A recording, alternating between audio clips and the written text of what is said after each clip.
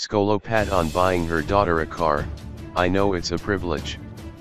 Almost three months after Skolopad's daughter got her driver's license, the star surprised the teen with a Kia Picanto worth a little over R100,000 for passing grade 11. Skolopat told TshisaLIVE that her family, particularly her daughter had gone through a lot this year and she felt Amzozo, as she calls her, deserved a great gift. It's been such a tough year for us but for my daughter particularly. She did well at school despite everything and that's why I felt she deserved something. Losing her dad and almost losing me, among other things. I didn't think she would do well at school and I would have understood but she surprised me.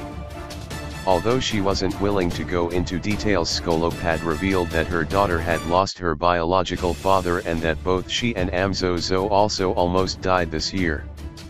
She said when she thought of all the hardships they endured this year and of every blessing they still have, she felt proud of her daughter's strength. Amzozo told TshisaLIVE she was thankful that God had protected them the whole year and that her mom was blessed enough to buy her a car. Amzozo said she understood that she was lucky and promised to work hard to make her mom proud. God is great. I am so happy and grateful for everything that he does for my family and that he made a way for my mother to do this for me. It's an overwhelming feeling of joy that I have every time I look at the car and I will make my mother proud at school next year.